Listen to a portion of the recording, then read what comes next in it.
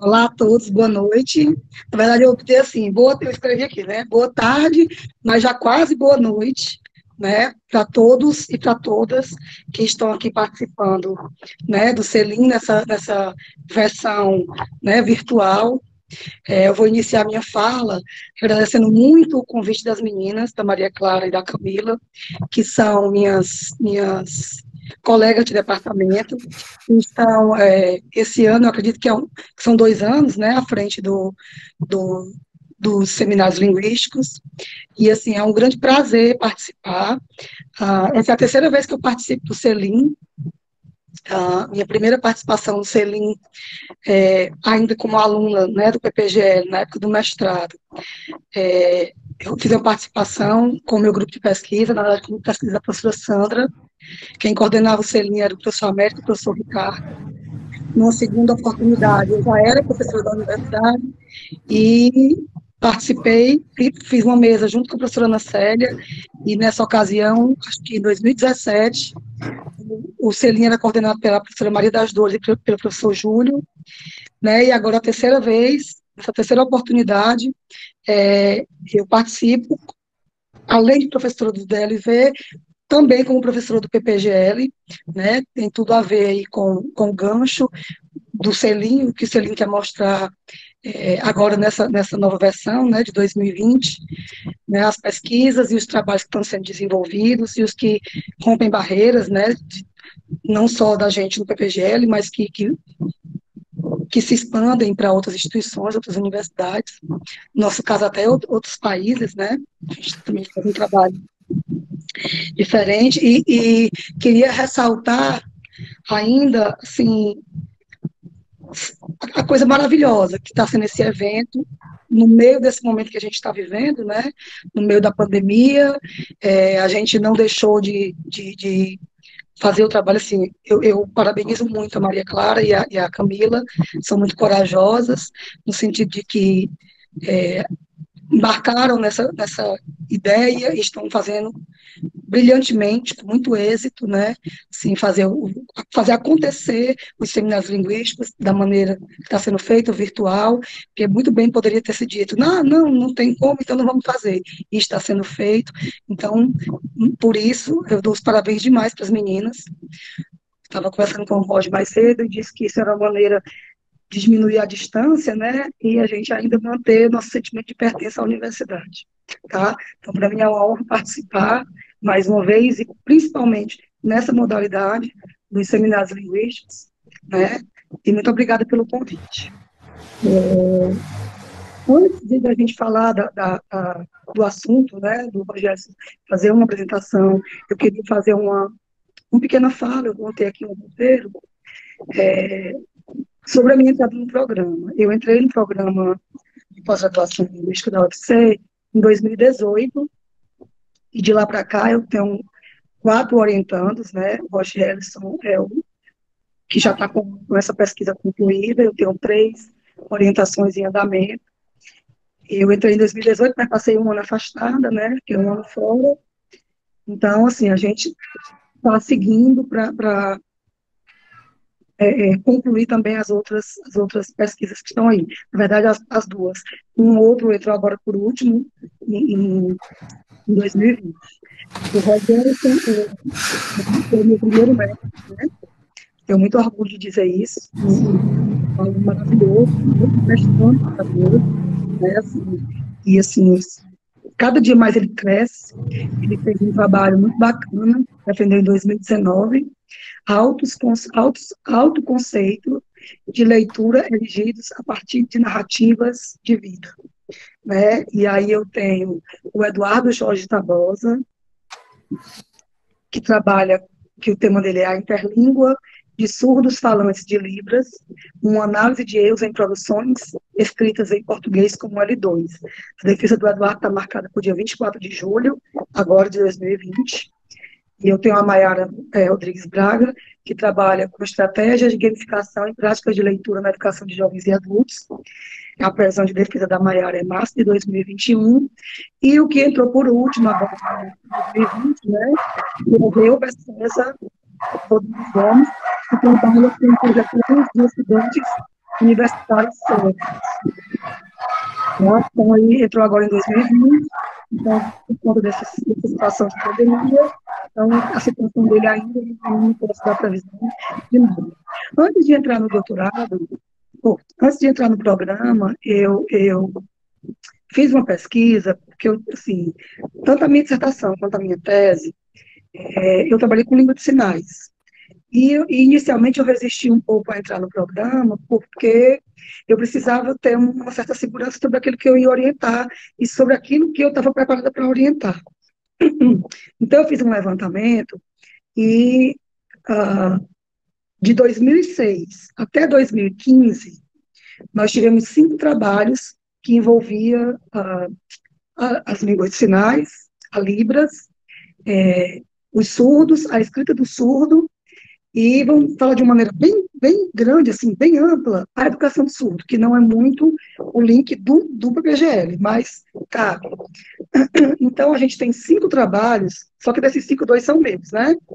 É, a gente tem cinco trabalhos de 2006 a 2015, e o de 2015 é, é, um que não foi concluído, né? Que é o trabalho do professor Fernando, que ele faleceu antes de defender o doutorado. Então, a gente tem quatro trabalhos quatro pesquisas nessa, nessa temática que eu falei, que foram realizados né, e concluídos, de dois, dois desses, é a minha dissertação e a minha tese, um de 2010 e um de 2014, e o de 2015 era o trabalho do professor Fernando, mas não foi concluído. Então, eu não vou contar com ele. Então, a gente só teria quatro trabalhos. Então, eu fiz essa, essa consulta antes de entrar no PPGL, porque eu queria saber assim, de certa forma, o que eu ia orientar lá, né, assim, afinal de contas, são tão poucos trabalhos em cima daquilo que eu queria pesquisar, que eu fiquei com um pouco de receio, mas mesmo assim eu entrei.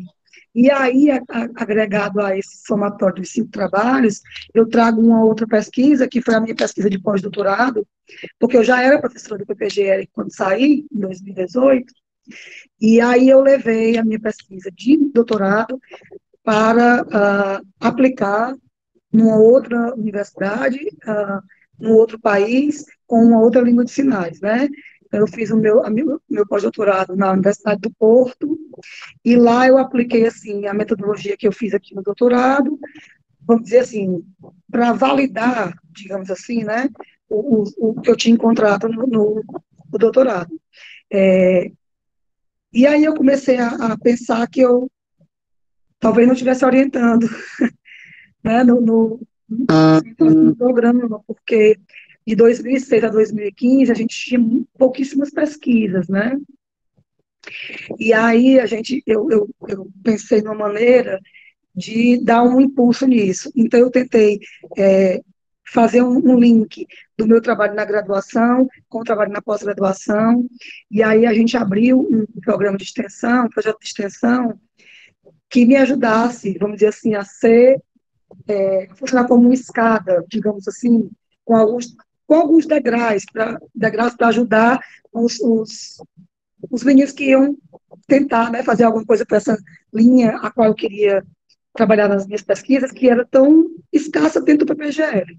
E aí nós fizemos dentro do, do programa de extensão o LINSU, que é um curso de linguística para surdos, né, e, e o LINSU, ele o objetivo primeiro dele era é, oferecer aulas né, de linguística geral e linguística e a linguística dos temas voltados mais para as linhas de pesquisas da, da, da seleção das nossas linhas de pesquisa, né, é, dando, de certa forma, é oportunizando né, que a pessoa surda, no caso, que esse, esse, esse meu projeto de extensão, ele atende as pessoas surdas, né? Ele é exclusivo para as pessoas surdas. E a gente iniciou o Linsul, eu abri, assim, a gente abriu as vagas inicialmente para os professores do, do, da universidade, da UFC, né, que tinham interesse de, de dar continuidade à vida acadêmica, né?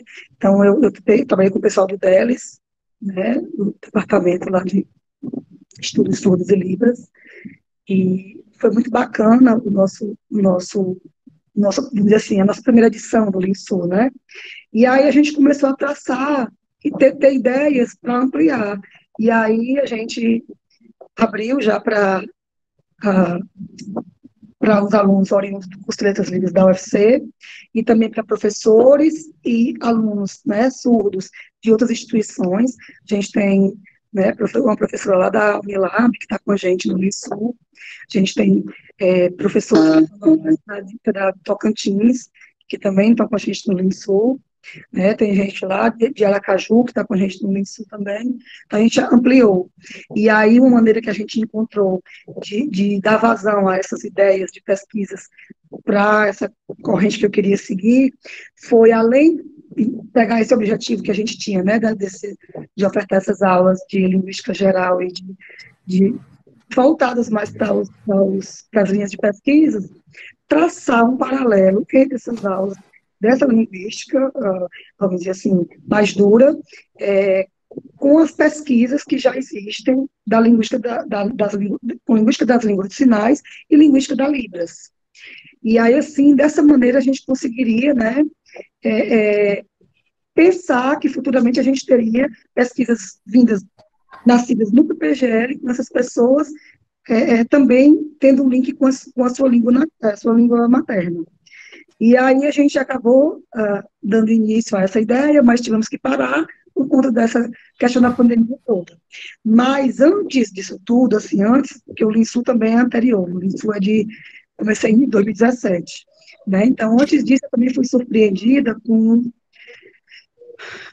com os meus orientandos que vieram para mim é, o que eu colocava lá, né, que eu sou da linguística aplicada, é a minha, a minha linha de pesquisa, e o meu foco é a linguística aplicada ao ensino de língua materna e língua de sinais, no ensino e aprendizagem, e na formação do professor.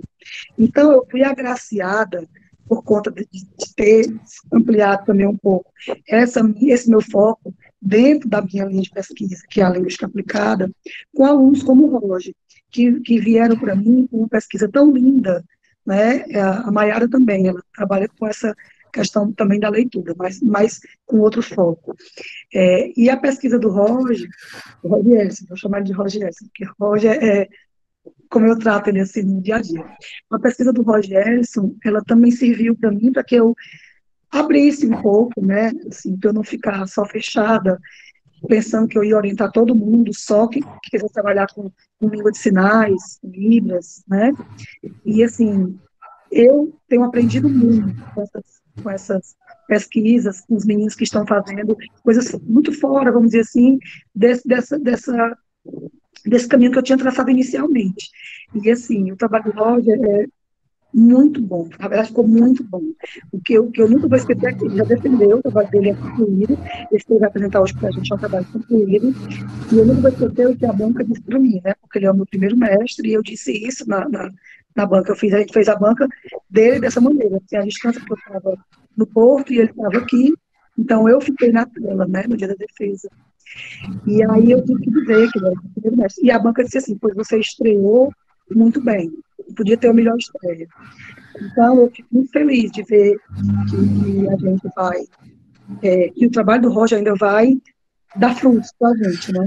Então, assim, eu vou passar a palavra para ele sem muitas delongas, porque eu não tenho medo de falar demais agora e a gente acaba não, não, não falar do que.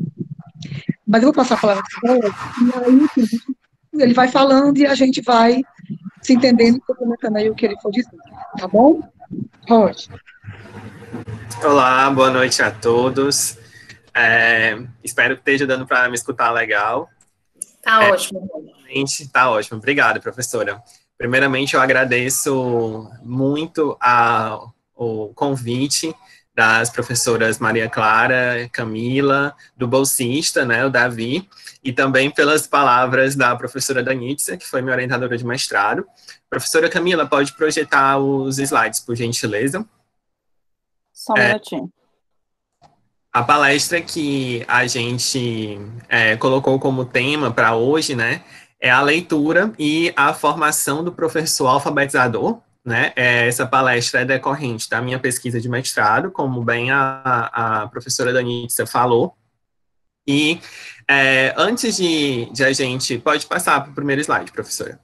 Antes de a gente começar um pouquinho a falar sobre os fundamentos teóricos que abalizaram a pesquisa, ou é, a análise mesmo, é, é importante sempre, para fazer um link né, com o tema do Selim, é, deste semestre, pensar por que, que a leitura interessa a linguística, né? É, e aí a gente pode ter várias respostas. De um modo sintético, é, porque a leitura também é interação. Né? Nós, é, a, a comunicação humana, a interação humana também acontece via leitura. Né? Então, não é somente através da produção de textos, não é somente pelas práticas da oralidade em que acontece a interação, mas a leitura também é uma interação mediada pela linguagem. E nessa esteira, se a linguística é a ciência que se interessa pelas interações mediadas pela linguagem, a leitura, portanto, é, se encaixa nesse interesse de pesquisa é, entre os estudos linguísticos. É, e, logicamente, como todos devem conhecer, é, a leitura é abordada dentro das diferentes frentes é, da linguística. Então, nós temos pesquisas é, do viés do ensino, da psicolinguística e também da formação do professor, que é, é o afunilamento da minha pesquisa, né? E aí muita gente também pode se perguntar, ah, mas espera aí, os professores é, de, de, que fazem a graduação em letras são responsáveis por, por atuar, né? Isso daí é, é, constitucional, é, constitucionalmente falando. Esses professores atuam no ensino fundamental 2 e no, no ensino médio. Então, por que, que a linguística pode se interessar pela formação do professor alfabetizador.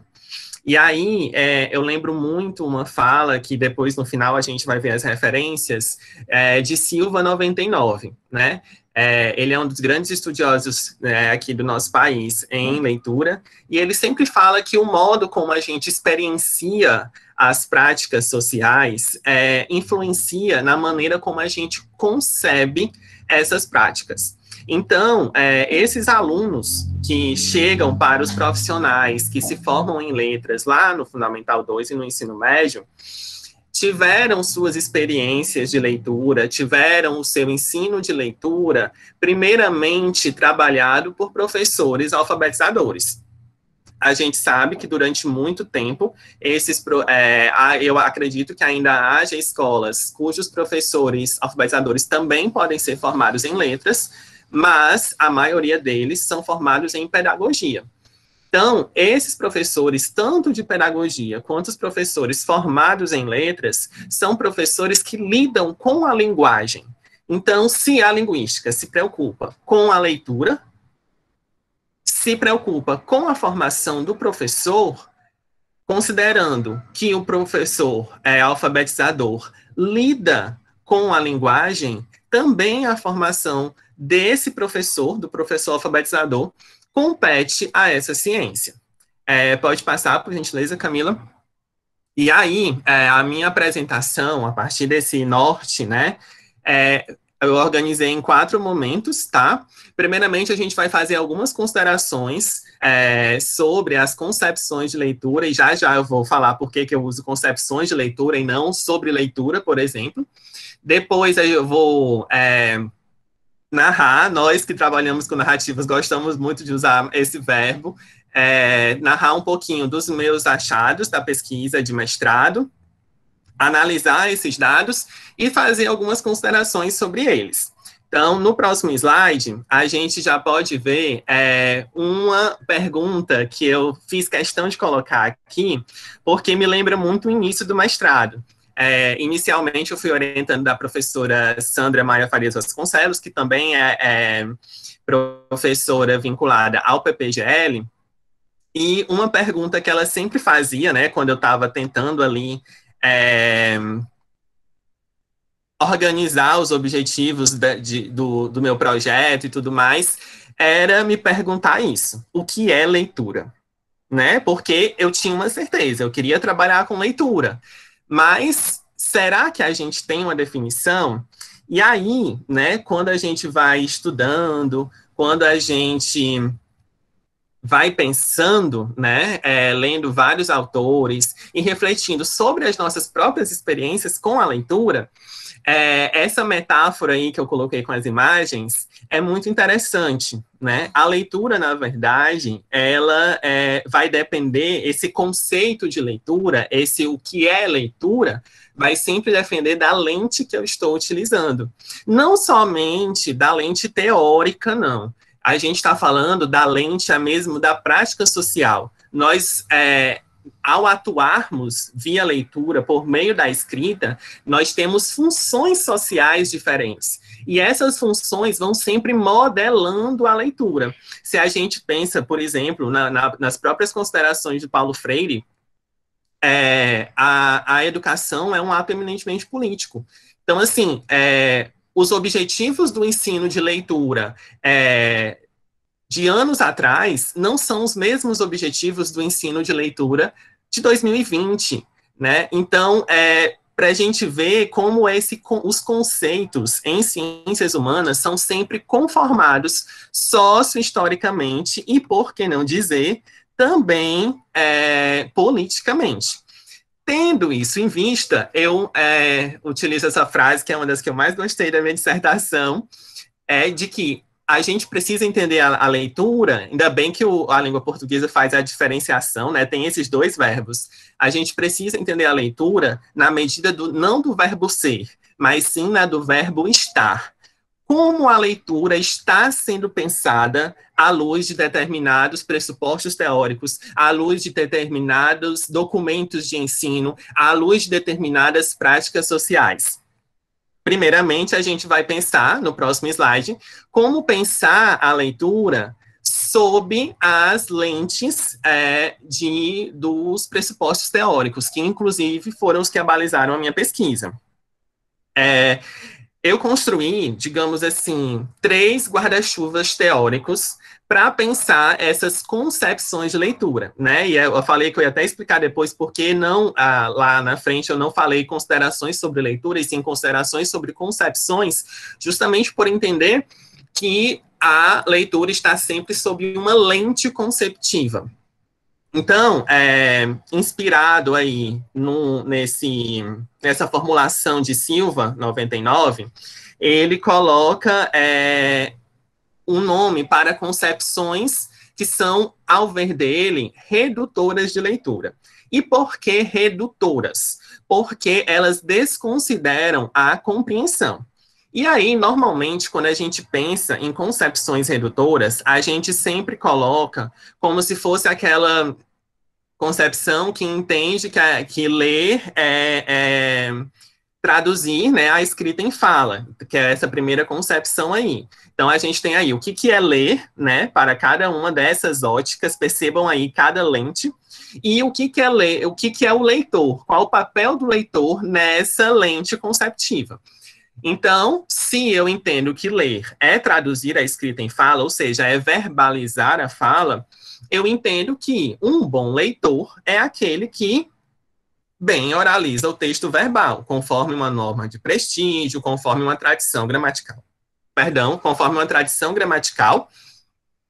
Mas é importante ressaltar que não somente essa concepção é, pode ser encaixada numa concepção redutora.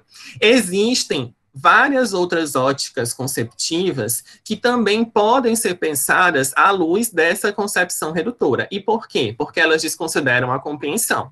Então, a gente tem aí a questão de decodificar mensagens, ou seja, muitas vezes a gente pensa, né? Ah, eu vou tentar entender o que o autor quis dizer, o que foi que o autor quis dizer, né? Então, sempre que eu procuro é, pensar a leitura dessa forma, eu também estou desconsiderando a compreensão, porque eu quero entender o que o autor quis dizer, né? Dar respostas a sinais gráficos, ou seja, os professores, né, todos nós professores, normalmente temos algumas, algumas perguntas vinculadas a alguns textos, e essas perguntas medem a leitura, ela, elas atribuem protocolos de resposta. Então, também desconsidera a subjetividade da compreensão. Portanto, também uma concepção redutora extrair a ideia central, né? Ou seja, quais são as ideias, a ideia central, qual é a ideia central? É lógico que todos os textos possuem temas, né, subtemas,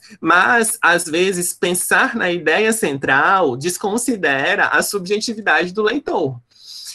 É, do mesmo modo, é, eu passei mesmo por isso, é, essa, essa, essa penúltima concepção que o Silva traz, que é seguir os passos do livro didático, hoje eu já não vejo tanto assim nos livros didáticos, mas eu tenho muito contato com os livros do Fundamental 2 e do Médio, eu não sei de fato como é que estão aí os livros da alfabetização no presente momento. Mas é, eu mesmo é, experienciei livros didáticos que faziam isso. O que é ler? Então, primeiro você faz uma leitura silenciosa do texto, sublinha as palavras que você não conhece, verifica né, o vocabulário, tem um questionário ali, vamos para a, a estudar a gramática, o substantivo, vamos estudar o adjetivo, porque no texto tem muito substantivo, porque no texto tem muito é, adjetivo, e depois vamos fazer uma produção sobre esse texto. Né? Então, isso também protocola a interpretação, e uma vez que protocola a interpretação, retira a subjetividade do leitor, portanto, a compreensão. E, por fim, uma última é, concepção redutora é aquela que diz: ler é apreciar os clássicos. Lógico que ler pode ser, pode ser apreciar os cascos. Mas não somente, e a gente tem essa mania de, de é, hierarquizar, né? Ah, não, fulano lê muito textos literários, ele sim é um bom leitor, ele sim faz leitura de verdade. Como se as outras leituras, ou qualquer tipo de leitura, não envolvesse uma complexidade de estratégias metacognitivas, metacognitivas, perdão, uma série de estratégias sociais é, que, não, que são todas utilizadas a depender de cada gênero, a, qualquer, a depender do tipo de leitura e por aí vai. Então, o Silva é, engloba todas essas concepções que retiram é, as diferenças sociais das práticas de leitura, e principalmente a compreensão do leitor, que procuram protocolar a compreensão.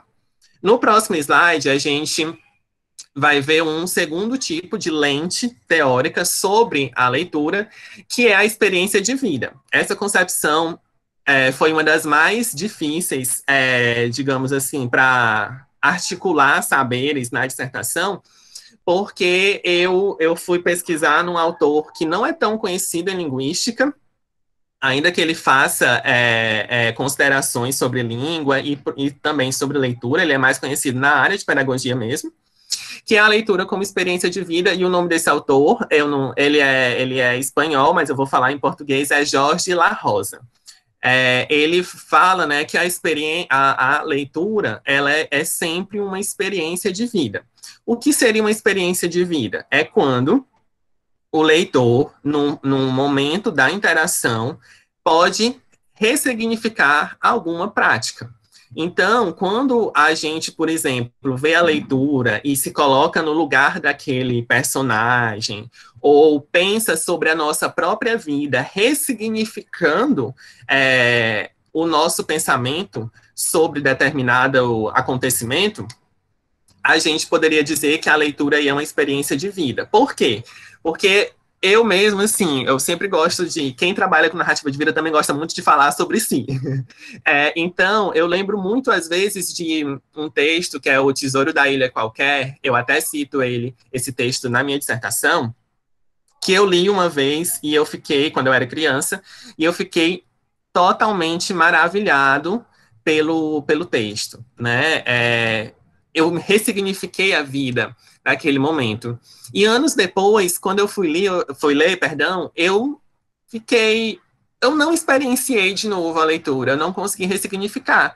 Ou seja, a experiência é sempre esse ato singular. Ele é um ato deítico, que só acontece uma vez, porque é um momento em que você ressignifica a sua vida, ressignifica a sua, os seus, as suas concepções sobre algo.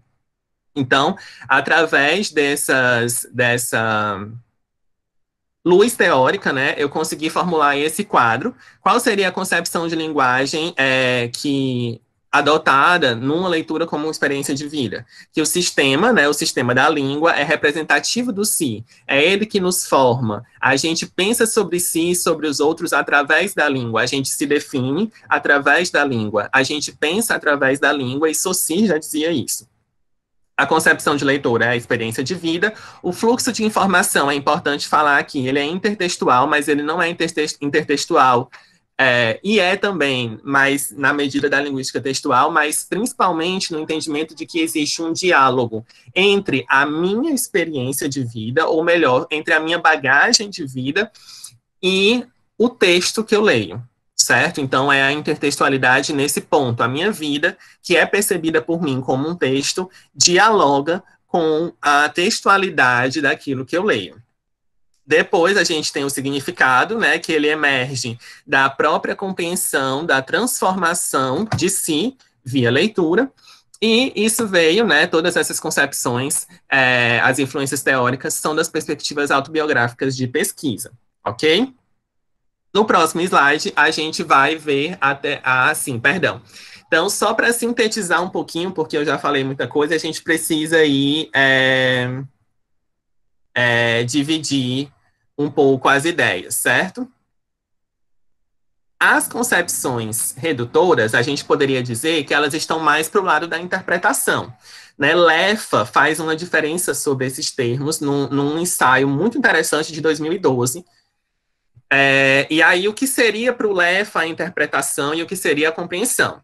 É, aí no título do slide vocês podem ver que as setas apontam para os dois. Por quê? Porque os dois processos, num momento de leitura, se imbricam, tá?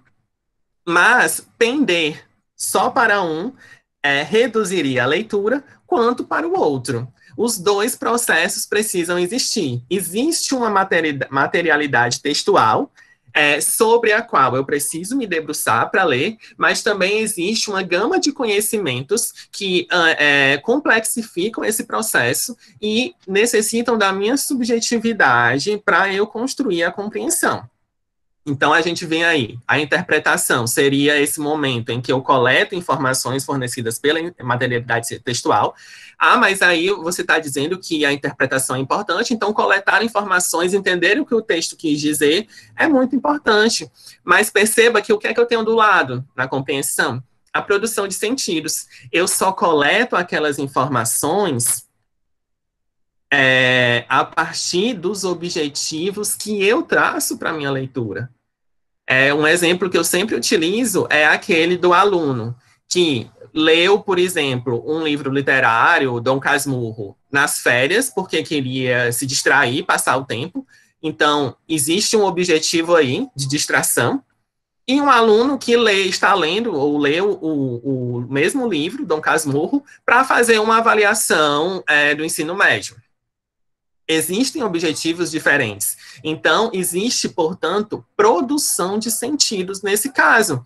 Essa produção se dá através de quê? Através da coleta de informações. Mas essa coleta de informações sempre é hierarquizada pelos objetivos que eu traço, pelas predições que eu realizo, pelas hipóteses que eu confirmo ou refuto ao longo da leitura e assim sucessivamente, né? Então, a gente tem na interpretação um apego imanente e na compreensão um apego aos diferentes conhecimentos necessários à interação, que se a gente considera ali a formulação de Coelias 2012, a gente tem o conhecimento é, linguístico, né, da própria língua, dos mecanismos sintáticos, lexicais de, de formação de palavras, por exemplo, o conhecimento é, enciclopédico, né, o conhecimento de mundo, e o conhecimento interacional. Qual é a interação, qual é o gênero que engendra esse texto que eu estou lendo, e assim sucessivamente. O significado da interpretação emerge do texto, então eu entendo, se eu foco somente na interpretação, eu entendo que o texto ele é, é ele já está com sentido pronto, mas se eu considero a compreensão, como eu já vinha argumentando, esses objetivos, essa, essa, essa interpretação é sempre maleável, porque ela está em conformidade com os objetivos selecionados pelo leitor, na interpretação, a leitura é de mão única, porque eu vou entender o que o autor quis dizer. Na compreensão, não. A leitura transforma o texto e o leitor, ou seja, nunca um o texto é o mesmo, porque se a gente, a gente vai já conversar um pouquinho sobre isso, se a gente entende a interação como um evento único e irrepetível, tal como propõe Bakhtin, é, o sentido só existe na interação. Então, sempre o leitor e o próprio texto, a própria materialidade, é, são transformadas a cada evento interativo. Tá? Então, esse quadro aí é para a gente ver. Enquanto lá nas, nas é, concepções redutoras, a gente tem um foco muito grande para a interpretação, nas concepções é, de experiência de leitura, a gente tem um foco muito grande para a compreensão. É preciso, portanto, que a gente perceba uma concepção que é, trace que esses dois processos são importantes. E isso acontece na leitura como prática social, tal como a gente pode ver no próximo slide. Então, a gente tem aí, de onde é que nasce essa concepção de leitura como prática social? A partir de Bakhtin, né? Para Bakhtin, a interação é sempre um jogo de tensão social. Essa tensão não é algo negativo, não precisa ser superada, ela é algo constitutivo, porque ela revela a tensão entre mim e o outro. Eu sempre é, interajo pensando em que, com quem eu interajo e em que contexto eu interajo. Então, é, esse diálogo, esse dialogismo, ele vai estar sempre presente, porque a gente vai estar sempre nesse espaço de digladiar, de digladiar sentidos, né? E por isso mesmo, de produzir sentidos no largo da interação. Por quê? Porque a concepção de Bakhtin entende que esse diálogo, né, e aí é importante ressaltar, não sei se todo mundo que que acompanha a palestra é, tem uma leitura aprofundada de Bakhtin, o diálogo aqui não é entendido como essa interação face a face no sentido de troca de turnos, por exemplo, mas o diálogo é entendido como o, o embate discursivo, ideológico, certo? Entre é, é, concepções, entre discursos mesmo, tá? Então, sempre que a gente toma a palavra num determinado contexto, é, com determinados atores sociais, a gente adota posicionamentos que façam com que essa pessoa com quem eu interajo é, adira ao que eu estou falando. Então, é, é perceber, o dialogismo é constitutivo da língua nesse construto. Por quê? Porque sempre na interação a gente tem esse embate discursivo entre os interlocutores, tá? E aí, por fim, né, tem isso da, da a interação é uma arena onde posicionamentos é, valorativos acerca da realidade se digladiam, como eu vinha falando. Depois, no próximo slide, por favor, a gente tem aí essa abordagem que está num, num ensaio que está no prelo, vai já sair, inclusive, é, o que aborda a leitura a partir dessa concepção dialógico-interacionista. O que seria essa abordagem dialógico-interacionista de leitura? É, seria uma abordagem dentro da concepção de Bakhtin, como eu vinha aqui falando, né, resenhando um pouquinho. E aí, a concepção da linguagem é dialógica, a linguagem é fundamentalmente dialógica. Ah, o nome da concepção é dialógico interacionista, por quê? Porque a gente entende a linguagem como dialógica e esse diálogo entre discursos, esse embate ideológico discursivo acontece na interação. O fluxo de informação é dialógico porque ele, é, ele emerge tanto do leitor quanto do produtor. É lógico que todo produtor de texto, ainda mais quando a gente fala de escrita, que a gente pode revisar o texto, que a gente pode avaliá-lo várias vezes antes de endereçá-lo para o outro, a, é, existe aí um, um, uma seleção estratégica de construções sintáticas, de, de itens lexicais, que é, justamente mostram que o produtor também não é alguém que não se deve levar em, em consideração. Os interlocutores estão aí envolvidos nesse embate, nessa arena discursiva. O papel do leitor, ele é responsivo ativo, ele não é alguém passivo, ele não é alguém que coleta sentidos, mas ele é alguém que produz sentidos, que é, mobiliza diferentes conhecimentos, como eu falei antes, e é, faz, é, constrói objetivos, desculpa, realiza predições, hipotetiza, refuta, confirma essas hipóteses e por aí vai, né? Se eu fosse aqui falar todos os processos meta e sociocognitivos que, que acontecem na leitura, poderia falar, era, seria uma palestra só sobre isso, porque a leitura, de fato, é percebida como um processo muito complexo de interação. E, portanto, o significado, se a gente entende a interação como única e irrepetível, né, ele só emerge na e, pela, na e pela interação, a partir do diálogo entre os valores ideológica e culturalmente re, né, produzidos pelas experiências do leitor. Né? Então, o leitor tem essa figura ativa. Por quê? Porque tanto o leitor quanto o texto saem remodelados, ressignificados em cada construto interativo, tá? E aí, no próximo slide, a gente só defende né, que essa abordagem de leitura está muito na base do que a gente entende como letramento né? Por quê? Como letramento ideológico, né? O Street vai fazer essa diferença entre o letramento autônomo, que a gente percebe a leitura somente ali, ah, vou entender o que o texto quis dizer, então todas as habilidades sociocognitivas, elas se, se é, articulam para todo e qualquer texto, não existem habilidades específicas para cada texto, mas se a gente pega a leitura sob a perspectiva do letramento ideológico, não.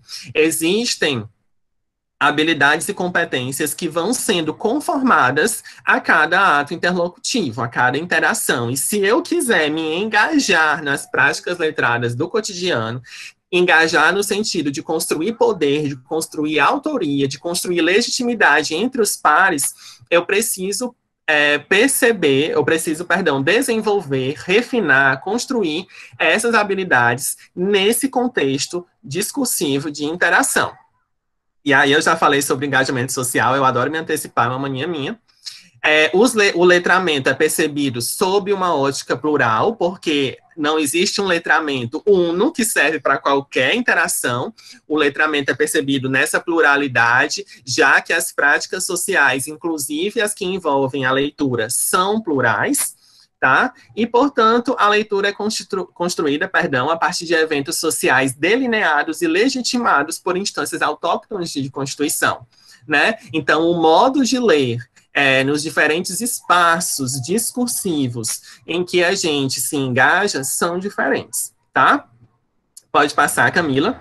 Então, é, só para a gente sintetizar, né? Isso daí é Silva que coloca. A gente tem três bons conceitos de leitura sob a lente da prática social. Ler é interagir, a gente está sempre interagindo com o autor, não no sentido de tirar né, é, significados, mas no sentido de confronto mesmo, produzir sentidos, como eu já vinha falando, eu sempre produzo sentidos ao texto e não eu coleto sentidos do que o autor quis dizer, e, portanto, ler é compreender e interpretar. Ler é, é, esse processo em que eu me valho do texto, da materialidade textual, mas eu invoco uma diferente gama de conhecimentos, um, a minha história de vida, a minha autobiografia, as minhas experiências para produzir esse sentido, se eu considero que sou um leitor responsivo ativo.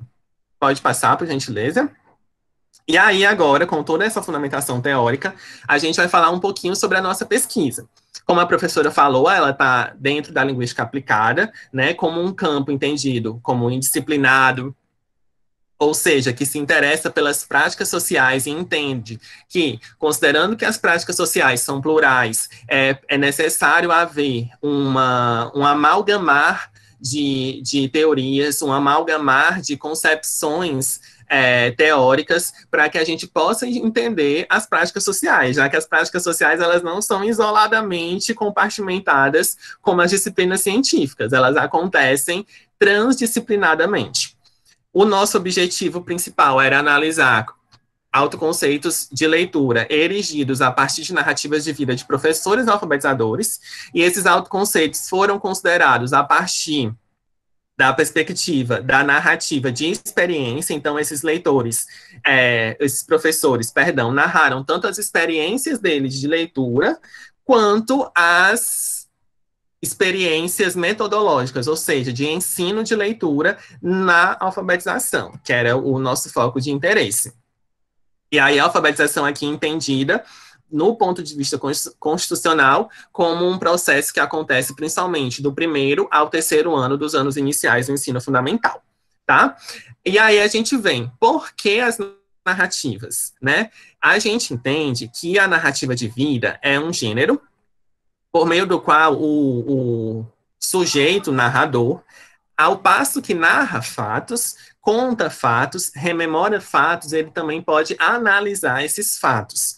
Então, a gente não tem somente uma narração do que aconteceu. Ah, minha mãe pegava um livro para mim e lia para mim é, antes de eu dormir. Não, ele não somente conta esses fatos, mas ele também reflete sobre a importância desses fatos na formação dele. Por isso que a gente entende que a experiência é formativa. E não há nada melhor do que a narrativa para poder, a narrativa de vida, perdão, para poder é, significar a experiência. Por quê? Porque se a gente entende a experiência de vida lá, como eu falei é, na leitura como experiência de vida, é, a gente só seleciona aqueles, aqueles aspectos de leitura, aquelas experiências que foram mais importantes. Então, a gente está ali envolvido num processo metacognitivo complexo de seleção de fatos e de análise desses fatos. Se a gente pensa nessa análise, a gente considera que a narrativa tem esse caráter autoformador. Por quê? Porque ao passo que eu posso significar ou ressignificar essas experiências, eu também consigo é, é, ressignificar a minha própria ação. Por quê? Aí eu sempre gosto de utilizar uma palavra, uma experiência minha. Por exemplo, eu com 10 anos considerava o meu processo de alfabetização, e aí foi dentro, acredito que a maioria aqui tem a minha idade, então, é, a maioria aqui viveu mesmo aquela coisa da oralização, que é extremamente importante se a gente considera que o nosso sistema de escrita é alfabético. Mas a gente sabe que não dá só para se ater a isso. Então, é, eu passei por todo esse processo e eu achava ele maravilhoso. Ou seja, com 10 anos, 12 anos, 15 anos de idade, eu considerava esse processo, essa experiência de alfabetização extremamente rica, extremamente significativa. Quando eu entrei no ensino médio, eu percebi que essas experiências não. Eu precisava retirar sentidos, eu precisava entender alguma coisa do que eu lia, e muitas vezes eu não dava importância para isso. Eu achava bonito porque eu lia legal, toda uma cadência, toda uma fluência, e muitas vezes, quando eu acabava a leitura, eu não sabia resumir o texto. Então, eu fui começando a ressignificar. Então, percebam, o mesmo fato é, alfabetização, a minha alfabetização vai sendo ressignificada à medida que eu amadureço, à medida que eu me envolvo com outras práticas sociais, à medida em que eu tenho uma formação, porque hoje, como professor, eu considero, eu ressignifico ainda mais essa alfabetização e por aí vai. Então, daí o motivo pela centralidade é, da narrativa de vida. Na nossa pesquisa, nós conseguimos entrevistar oito, oito professores, eu ia falar 800, oito professores alfabetizadoras, né? Outro, vale, eu botei professores, são oito professoras alfabetizadoras do município de Fortaleza, certo? Nem todas eram professoras vinculadas à Secretaria Municipal da Educação, mas elas atuam no município de Fortaleza. Aqui, né, por conta do tempo, a gente vai destacar três narrativas: a narrativa de Ana, Vitória e Lúcia. Aí pode passar para o próximo. Sempre quando a gente trabalha com narrativas, a gente precisa considerar quem é esse sujeito. A análise começa a partir do momento em que a gente entende quem é esse sujeito. A gente está trabalhando com história de vida, a gente precisa saber qual é a história desse sujeito. A Ana, que é a primeira, o primeiro, a primeira narrativa, né, de, de quem a gente vai analisar, ela é professora pedagoga, funcionária pública de Fortaleza há oito anos, isso tudo na época em que a gente entrevistou a Ana, tá? Isso foi em 2018. Então, nessa época, ela tinha oito anos. Na mesma época, ela ministrava aulas de todas as disciplinas para o primeiro ano, no caso do fundamental dos anos iniciais, e aulas de História e Geografia para o terceiro ano. A narrativa de Ana, no slide posterior, logicamente, por conta do tempo também, eu não pude trazer muitos trechos. Alguns trechos eu vou relembrando ao momento, no momento em que eu vou analisando, tá certo? E aí, é, a experiência da Ana, ela sempre vai falar isso. Ah, a minha mãe não lia para mim, então a leitura não fazia parte da minha vida. É, eu sempre tive que correr atrás. Então, eu perguntei em algum momento é, como foi que ela aprendeu a ler, por que, que ela resolveu, porque é, há momentos em que ela fala que a leitura era importante. Então, ela vai dizer: Eu acho que eu tive que aprender cedo a ter responsabilidade. Por isso, sempre tive esse ímpeto, essa vontade de trabalhar e de querer, não sei como nomear, ler profissionalmente. Não sei se é esse o nome que dá, tipo, olha como ela hesita, né? Ela hesita nomear a leitura na vida dela. Aí ela vai e fala: era uma obrigação. Pronto. A palavra é essa mesmo: obrigação. A leitura para mim era uma obrigação, porque daquilo dependia a minha melhora, uma melhora do futuro. E aí, é, no próximo slide, a gente vai ver uma, a narração dela sobre é, as escolhas metodológicas que ela faz nas aulas em certo momento, e é super interessante ver isso, porque ela vai falando, né, que não foi isso que ela aprendeu na faculdade, que ela era envolvida em grupos de, de estudo sobre Paulo Freire e tudo mais, mas ela fala, ela tenta se justificar para si, né? É, é como se eu ali, olhando para ela, é, interagindo com ela, fosse ela mesma se olhando, fosse ela mesma se compreendendo. Então, existe um momento da narrativa de vida em que o, o sujeito, se ele está começando a ver, nossa, por que, que eu faço isso? Ele precisa se justificar para si. E aí ela fala: eu, infelizmente, olha aí, né, o modalizador, preciso me preocupar só com o B, com o B. Né? O B aí é a questão da silabação. Mas não é só isso, não. É a, e aí ela cita o nome da coordenadora de onde, da escola onde ela trabalha, né? É a fulana também. Voltou à minha época não trabalha nada de projeto de leitura. É difícil. Esses meninos só aprenderam a decodificar. Não sabem para que serve a leitura. Então a gente vê o que, que é a função, o coordenador pedagógico, o que, que é o diretor pedagógico. É aquela pessoa que representa os objetivos da Secretaria de Educação é, dentro da escola. Se a gente considera isso, a coordenadora cobra é a professora a trabalhar com a silabação, a própria professora reconhece que os meninos só aprenderam a decodificar. Não sabem as funções sociais que a leitura engendra. Então, a gente vê que as experiências de leitura com a silabação, com a obrigação de ler, vão se é, amalgamando as escolhas metodológicas, principalmente na medida em que ela é forçada a trabalhar com essa metodologia. E aí ela continua trabalhando.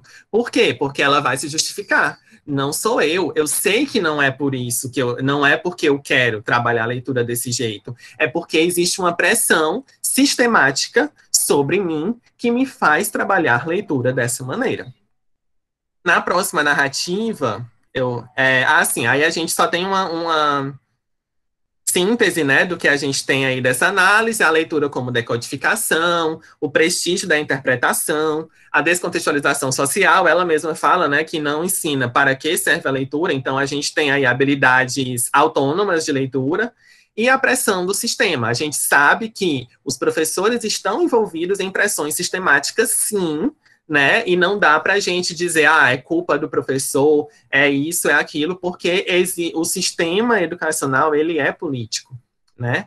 Então, passando aí agora para a próxima narrativa, a gente tem agora Vitória. Vitória, eu sou eu sou eu sou suspeito para falar porque eu gosto muito da narrativa de Vitória. Ela é a mais jovem dos, dos sujeitos que eu entrevistei, tem 24 anos a época em que ela foi entrevistada, ela ainda era estudante de graduação em pedagogia. Essa informação eu trago porque é importante, a gente vai já ver por quê. E mesmo sendo, sendo já ainda estudante, né, ela já atuava numa escola particular como professora do terceiro ano dos anos iniciais. Tá? A época da entrevista, ela estava de licença, e segundo ela própria disse, essa licença era por conta das cobranças que a escola particular a fazia. É, quando ela não estava de licença, né? Como eu disse, ela era professora do terceiro ano. Pode passar, por favor. Aí a gente tem um pouquinho da narração. Ela vai falar como foi que ela experienciou a leitura, né? Ela diz: Eu lembro da terceira série, lendo um texto bem bonito para a sala toda, tendo uma leitura boa. Olha como é interessante. Nesse momento, a gente pode ver que a professora se identifica com uma, com ela sendo é, criança, Olha, a minha leitura era boa, eu li um texto bem bonito. Olha aí o adjetivo, né? A minha leitura era boa. E aí ela vai passando um pouquinho e ela vai ressignificando. Por quê? Porque é, tá, certamente ela lembrou que eu estava entrevistando uma professora. E aí, peraí, eu tenho que me revestir agora é, da minha identidade de professora. O que, que eu acho dessa experiência enquanto professora alfabetizadora? Sendo bem realista, era leitura e escrita totalmente voltado para a escola, para fazer prova, para passar para a série seguinte e pronto. Eu não tinha uma leitura crítica. E eu não sei se eu era capaz de em pleno terceiro ano, mas no quarto ano eu já, se eu fosse fazer alguma leitura, eu tinha uma professora que fazia mais esse processo de reflexão. Mas do terceiro ano para trás, ou seja, na etapa da alfabetização, leitura, paradidático, só para resolver questões, só isso eu acho que não teve aquela coisa do lúdico, do brincar para aprender, nem aprender brincando, nem nada que tenha tocado. A gente brincava no recreio. O próximo slide, ela continua, é, ela vai falar um pouquinho sobre o que ela pensa de fazer, essa, adotar essa metodologia nas turmas pelas quais ela é responsável, porque ela é professora do terceiro ano. Eu não acho correto com crianças até Fundamental 1 essa questão de ler pouco né? Porque todo mundo fala que as crianças leem pouco, é nesse contexto em que ela fala isso. É difícil fazer com que uma criança aprenda a gostar de ler, seja crítico e tal, mas é inventar, criar, sair da, sair da, eita, sair da mesmice e criar novos modelos de interpretação e leitura, em que a criança não perceba isso só como um texto em que ela tem que ler. E olha, é, são novos modelos de interpretação e leitura ela usa as duas palavras. Olha como isso tem uma força discursiva muito importante para nós. A partir do momento que eu faço uma dinâmica com aquele objetivo, eu peço para eles dizerem o que gostaram, o que eles aprenderam. Porque quando se trata de enunciados, essas coisas, uma prova, né? Que hoje a forma, a forma avaliativa são provas e tal. Isso são os colégios tradicionais. Eu não concordo, né? Com esse enunciado grande demais, cansativo, eu acho muita crueldade. Isso marcou para eu não fazer com meus alunos, principalmente tão novos.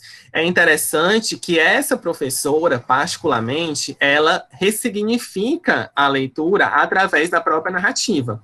Há momentos que eu não pude trazer aqui por conta do tempo, em que ela fala dessas experiências traumáticas, é, mas mesmo traumáticas, vocês viram comigo aqui que ela fala, ah, era boa, era bonita. Por quê? Porque havia um processo lúdico.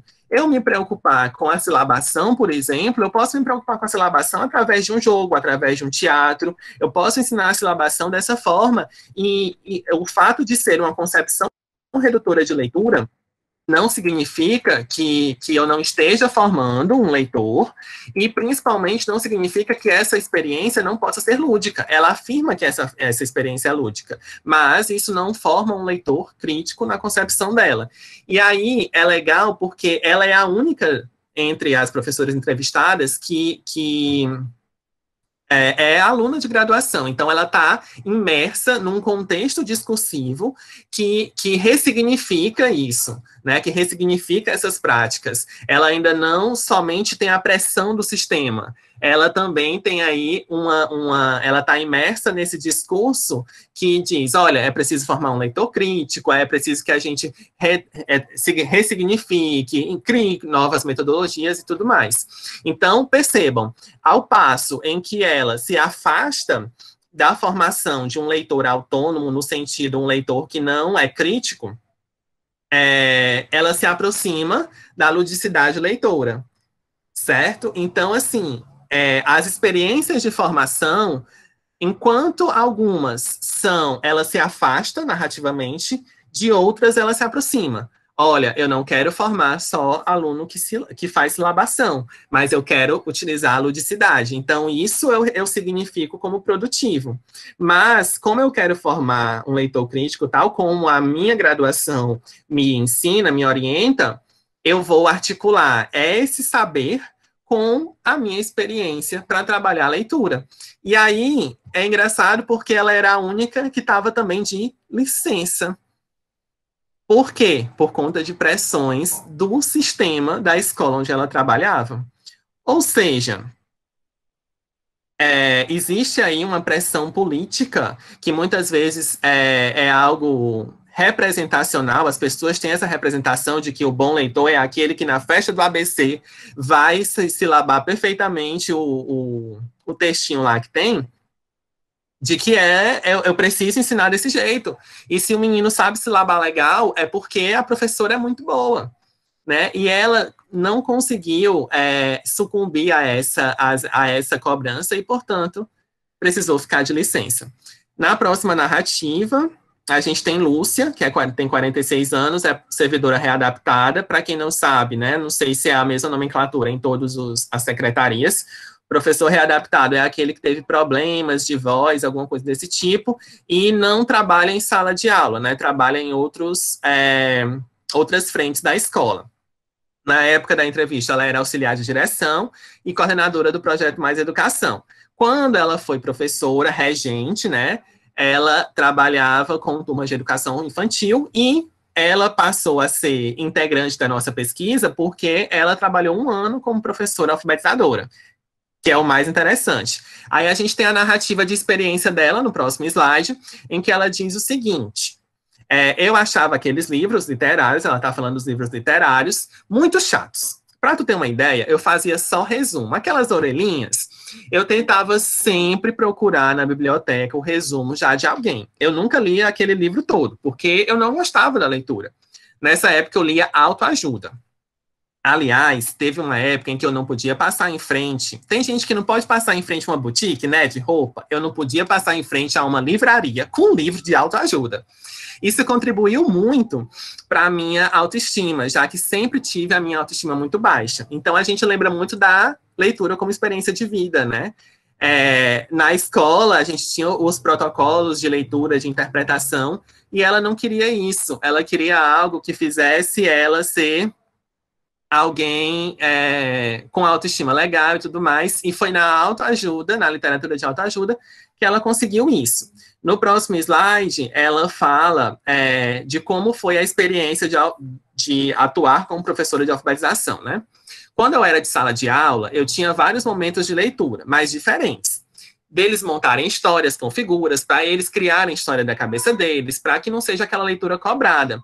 Eu acho que hoje aquela cobrança, a gente já vem para o sistema, de descritor, descritor está acabando com tudo, com leitura, com tudo. Né? No próximo slide, ela continua. É, eu acho que se eu for professora hoje, de primeiro ou segundo ano, nem aula eu sei dar direito.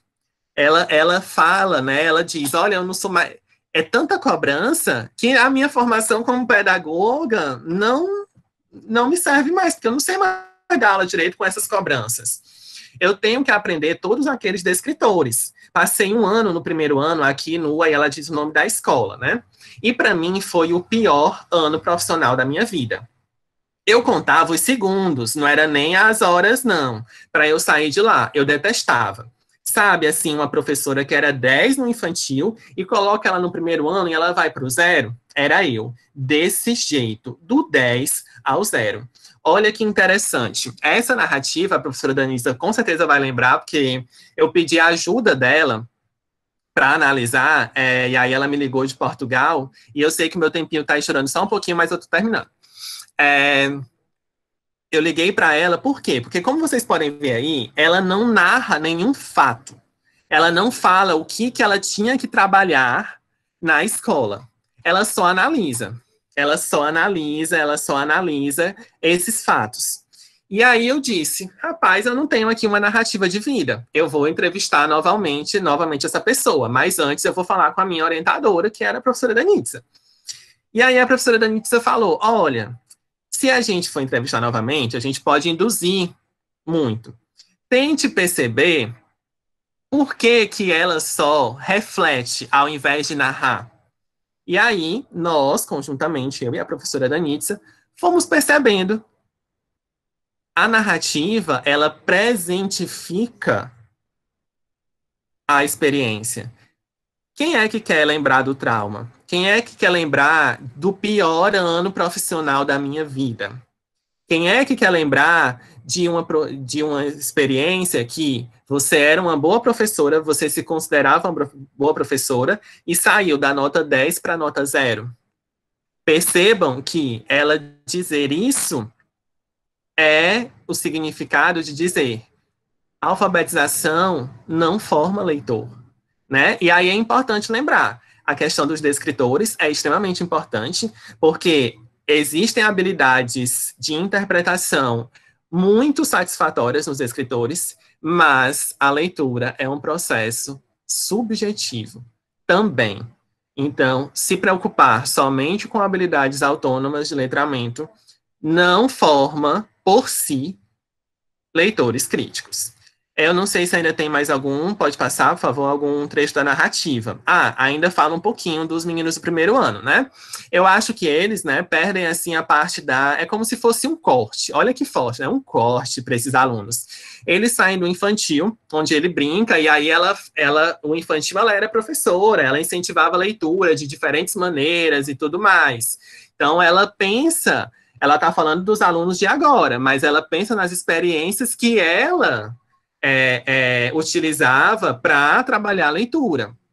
Onde ele brinca, onde tem uma, uma rotina diferente tudo mais, automaticamente ele entra numa sala em que ele vai ter que dar resultado daquelas provas. Sei lá, não sei nem o que é aquelas ADR. ADR são avaliações diagnósticas de rede para medir o nível de leitura do aluno, aquelas coisas. É, então, mais uma vez, a gente percebe isso, né? De que o fato que ela.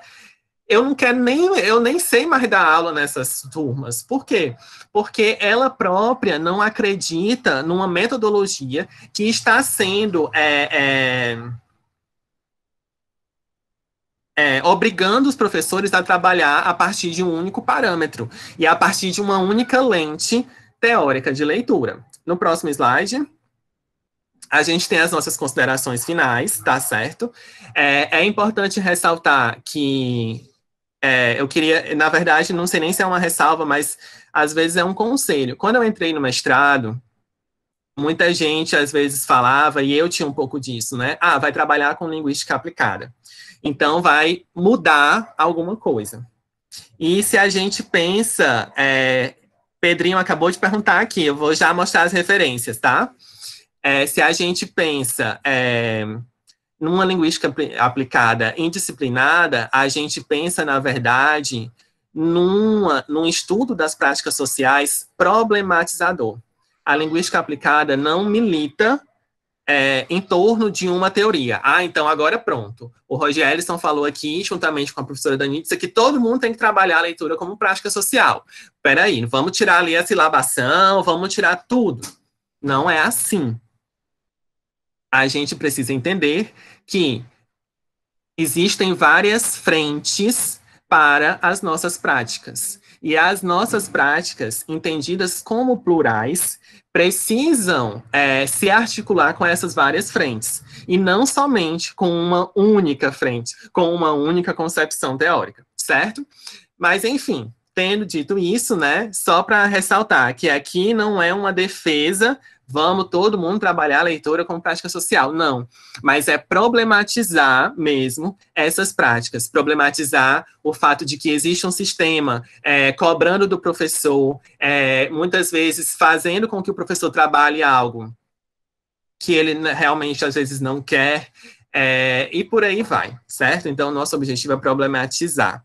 E as narrativas são muito é, produtivas para isso. Por quê? Porque por meio dessas narrativas, as experiências de leitura, a gente consegue perceber que essas experiências são formativas e, portanto, influenciam as escolhas metodológicas. Ah, mas espera aí, a narrativa lá da Vitória, ela se afastou das experiências. Ora, a experiência traumática dela foi formativa para ela não fazer desse jeito. Então, aquela experiência influenciou não, não, não, gosto de usar essa palavra, mas digamos assim, positivamente, no sentido de que ela, para ela, é positivo porque ela se afasta. Eu não quero formar um leitor que não seja crítico. Então, a, as experiências de leitura, e a gente pensa, né? É, os cursos estão aí imbuídos de teorias. Será que não é necessário ressignificar as, no, as experiências desses professores, se a gente quer que eles trabalhem em conformidade com documentos norteadores como a BNCC, né? É preciso, pois, justamente um processo de formação inicial e continuada de professores de leitura que busque ressignificar as experiências. E o que significa é, ressignificar as experiências num, numa graduação? É abolir a teoria, Óbvio que não. A minha fala começou com teoria, mas é perceber como essas teorias se articulam nas, nas, nas nossas práticas sociais e podem fazer com que a gente obtenha êxito nas nossas experiências, nas nossas atuações. Então, é, uma vez que nós estamos falando de professor, nós defendemos e aí sim militamos uma abordagem de formação que articule teoria e prática né? Se a gente pensa no curso, eu não posso falar sobre outros é, é, cursos, mas, por exemplo, o curso de letras que eu fiz na UFC, os estágios são no último ano. Então, é, são muitos anos de teoria e que muitas vezes, até onde eu sei agora, isso está mudando, até porque por conta de é, o, uma vez que a educação é um, um ato político, as as concepções né, estão sendo cada vez mais reorientadas, então a teoria está servindo mais à prática, mas na época em que eu fui formado, não. A gente não, muitas vezes não pensava um pouco sobre a nossa prática de professor, e isso fazia com que muitos colegas meus, inclusive, abominassem a sala de aula, né? E é necessário dar privilégio, porque nós somos militantes também na narrativa de vida, né? Por quê? Porque a narrativa de vida, como nós podemos ver, ela é um passo, um momento de reflexão do seu narrador e um passo de autoformação. As nossas referências estão no próximo slide. É, vocês podem ver né, a minha dissertação de mestrado aí, Andrade, é, autoconceito de leitura, está no repositório da UFC. Existem alguns artigos que eu citei também que estão no Prelo, que são aí é, publicados em coautoria é, entre mim, a professora Danitza e a minha colega Priscila, que está aqui nos assistindo. É, e o, alguém, o Pedrinho, né, perguntou sobre Silva, que é o Ezequiel Teodoro da Silva, eu acho, é Ezequiel Teodoro Silva, não. E fala sobre concepções de leituras e suas consequências no ensino, tá nessa revista aí, tá bom? É, no próximo slide, eu agradeço e eu queria deixar os meus contatos, o meu contato quanto da professora Danitza, e de fato, além de agradecer à organização do Selim, principalmente é, agradecer a todas as pessoas que nos assistiram, que nos escutaram, e que é, é um momento é, eu acredito que muita gente vem aqui para aprender comigo, com a professora Danitza, para aprender, né, entre os pares. Mas eu queria dizer que eu nem sei se, eu, se muita gente aprendeu é, aprendeu, aprendeu comigo, mas pode ter certeza que preparar essa palestra é, foi um processo de aprendizagem é, grandioso. Apesar do nervosismo e tudo mais, é, é, muito bom a gente poder voltar a um texto que a gente já defendeu, que a gente já leu e tudo mais, e organizá-lo através de um outro gênero, que é o gênero palestra.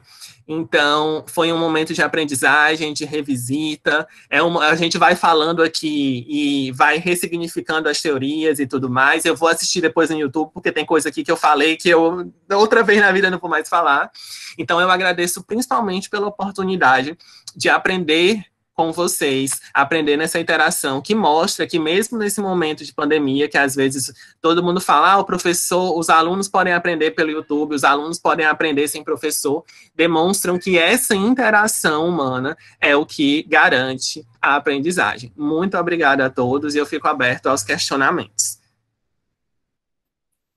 Ô, Rogelison, maravilha, né? Enquanto você falava aí, os agradecimentos finais, os elogios explodiram no chat como fogos, viu? Puf, puf, puf, puf, né?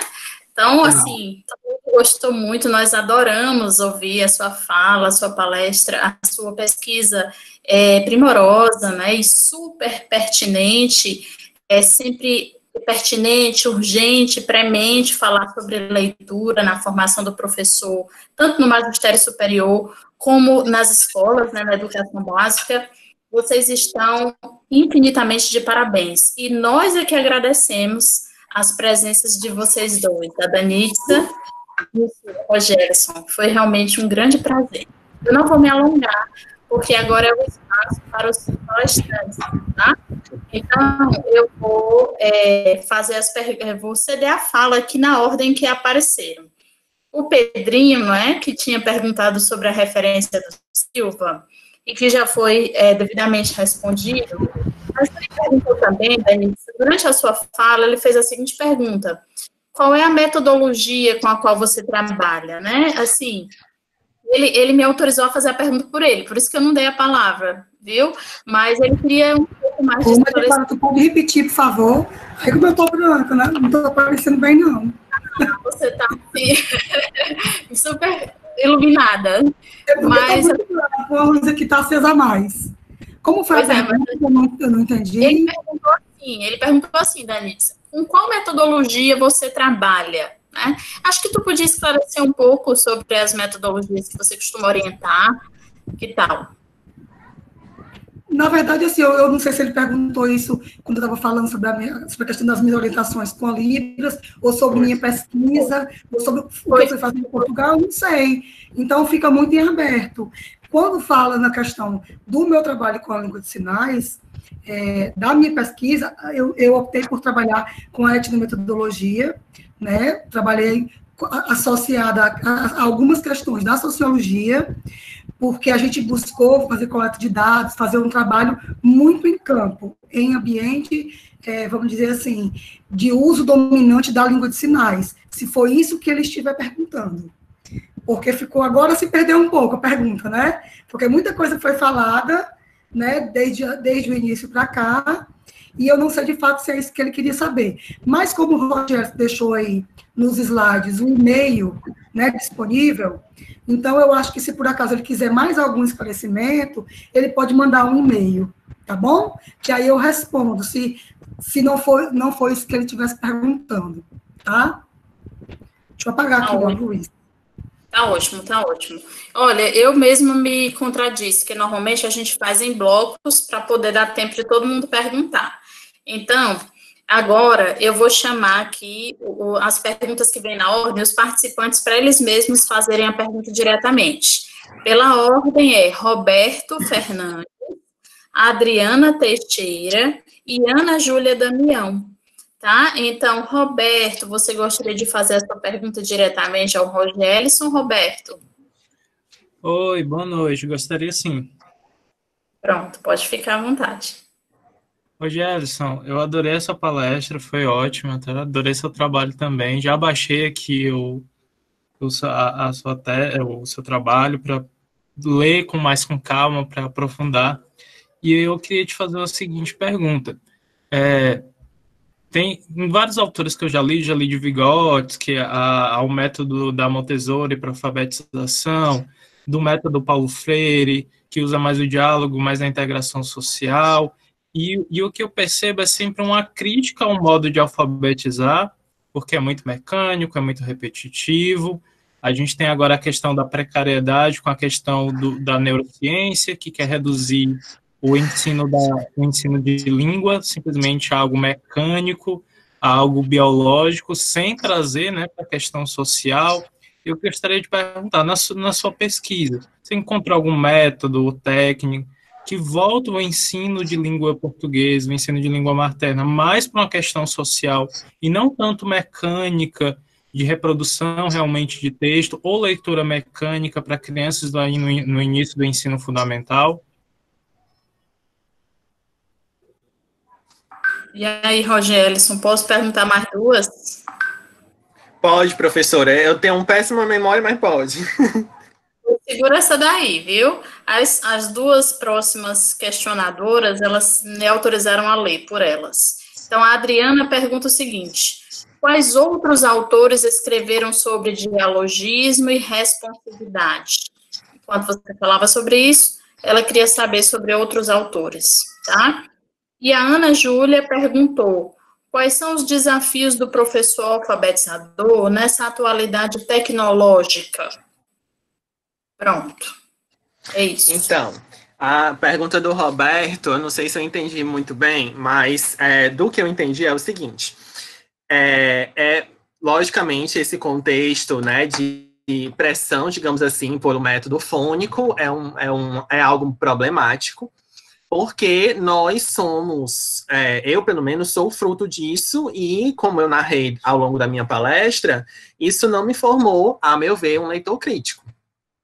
É, mas, por outro lado, como eu também comentei, a gente precisa sim, considerando que nós temos um sistema alfabético, é, desse processo de, de, de ensino fônico. Mas é, tem um artigo que agora eu não vou lembrar qual é, da Magda Soares, que ela, vai, que ela fala justamente que as, o ensino de alfabetização deve estar voltado para o letramento, enquanto o letramento deve estar voltado para a alfabetização ao longo desse processo. Existe aí uma articulação entre os dois.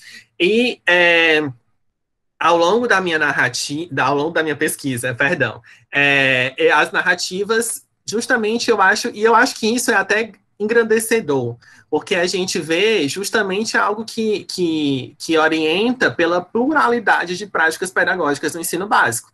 Né? É, é uma verdade que nós temos professores com diferentes idades, com diferentes experiências de formação, com diferentes é, formações mesmo no sentido de licenciatura, é, com, enfim, né? A gente tem pessoas diferentes. E uma vez que nós temos pessoas diferentes, nós precisamos ter também uma pluralidade de práticas pedagógicas. É, mesmo nesse contexto, é necessário que a gente saiba é, sempre articular objetivos há momentos em que o nosso objetivo é que o aluno perceba que a letra C pode ter o som, som sibilante ou o som glotal, salvo engano.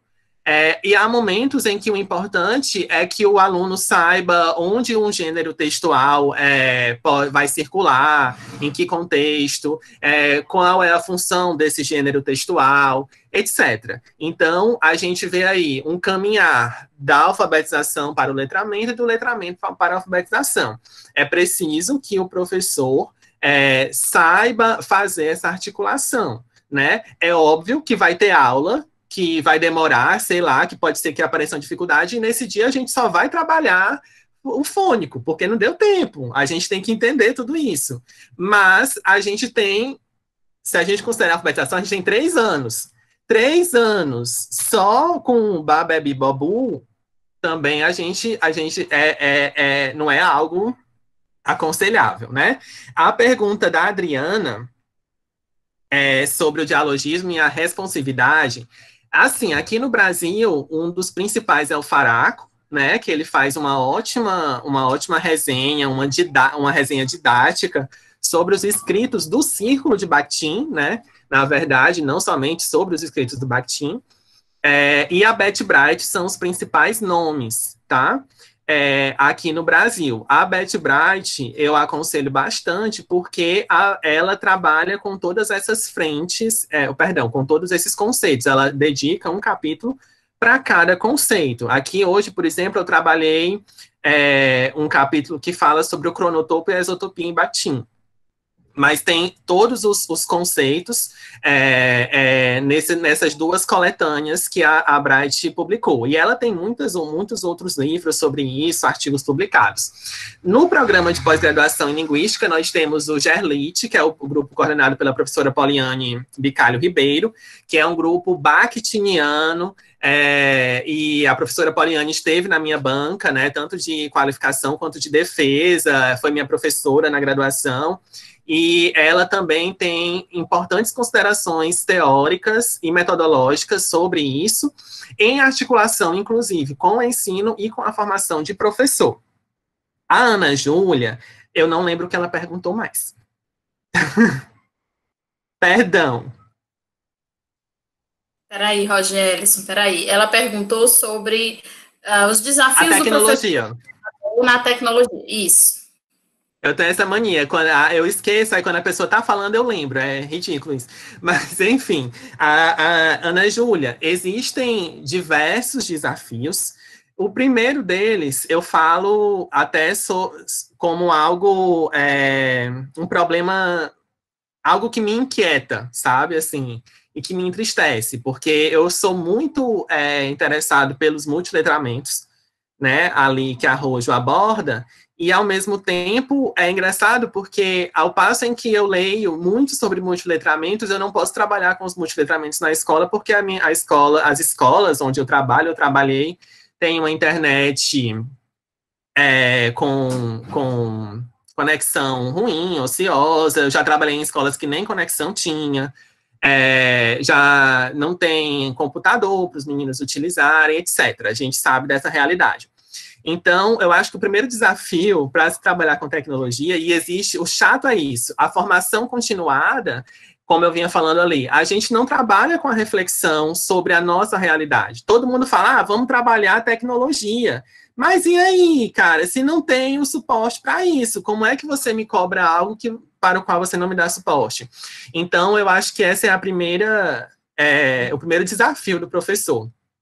Por outro lado, existem, é, de, agora, nessa, nesse momento, né, eu trabalho com turmas de educação de jovens e adultos, então eu sou bem paulo freiriano, né, eu tenho muito orgulho disso, é, eu estou trabalhando muito com jogos, eu estou trabalhando muito, é, há muitos alunos meus, né, têm dificuldade com essa questão da aquisição do código e tudo mais, então eu vou, para esses que têm mais dificuldade, eu passo esses jogos que trabalham muito essa questão do fônico e tal, e as atividades é, para a classe inteira, são voltadas para o ensino dos gêneros discursivos e tudo mais. Então, eu acho que o principal desafio ainda é esse, a articulação, né, o aparato tecnológico que existe e uma formação continuada que, sob um aparato existente na escola, é, possa dar subsídios aos professores para trabalhar essas tecnologias. É óbvio que muitos professores não têm esse, esse conhecimento, digamos assim. Mas todos nós, professores, pelo menos, por exemplo, de língua portuguesa, sabemos o, os discursos, nós sabemos analisar textos, sejam eles é, na, na, mídia é, tecnológica ou não. Então, nós ainda temos, sim, critérios analíticos para formar leitores críticos. Eu acho que falta uma formação para esse preparo e falta um aparato tecnológico para que isso aconteça. Obrigado. Obrigada, Rogério. Só vou chamar aqui o professor Luiz Cláudio. Gente, quer... gente, eu, tô, eu, vou pedir desculpa para vocês. Eu sei é porque eu. Desculpa, viu, Roger? No meio da sua fala, você respondendo aí a pergunta, eu estava conversando com o professor. Ah, o professor Luiz Cláudio, ele é lá da UFP, e ele é um professor surdo. Não sei se ele está conseguindo me ver, porque a minha imagem está muito ruim. É, e ele está tentando acompanhar a palestra, e ele quer fazer uma pergunta.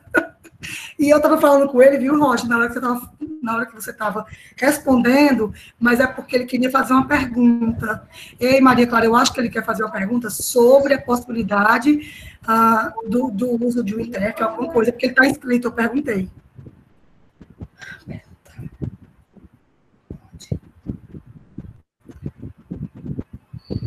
Eu vou só. Eu vou abrir aqui a tela dele grande para poder ver se eu consigo ver direito, tá, gente? Foca nele, Danitza. Tu fixa ele, que aí você. É, sim, sim.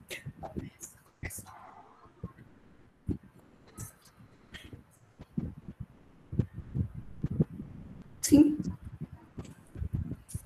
Ah, ele é da licenciatura, tá? Ah, ele é da licenciatura. Ele disse que está vendo tudo, que está entendendo. Você está entendendo?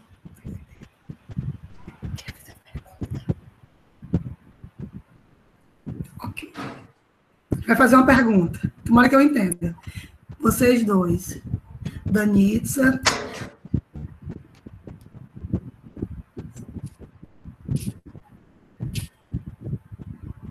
Certo. Sim, Danitza e o Roger. Dizendo que é muito importante aqui para o grupo ter surdos envolvidos, tá? mas fica difícil para ele, é, ele entender, para ele tirar dúvidas, mas ele conseguiu. Ele quer fazer uma pergunta agora. É importante. Olha, é importante na língua de sinais, as pesquisas de língua de sinais hoje. É, e como é que você vai fazer isso? Ai, meu Deus, eu não vou saber responder isso de jeito nenhum. Agora é uma pergunta para o Roger. para o Roger agora. Sobre leitura. Ah. Ficou muito bem, viu a, a, metodologia, foi muito bem, foi muito bem explicado. É, antigamente ele, na escola, quando ele estava inserido na escola, estudar português, ele tinha muita dúvida, era muito difícil, ele não entendia a metodologia. Era muito confuso antigamente. Agora trocou, está tudo melhor. A, metodologia, as, atividades, está tendo ajuda. Eu acho que é isso que ele está dizendo, estou misturando tudo. Dizendo que o português é muito difícil, a leitura, com intérprete, sexto ano, é difícil. Só, tinha só que escrever, obrigada a escrever, escrever, escrever. Estava faltando para eles uma metodologia que abrisse, que clareasse, para que eles pudessem entender. A pergunta se você acha importante a leitura. Está congelando.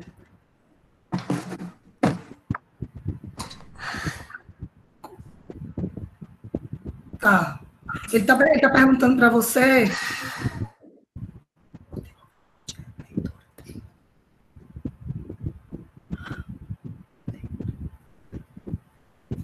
Importante. Sim.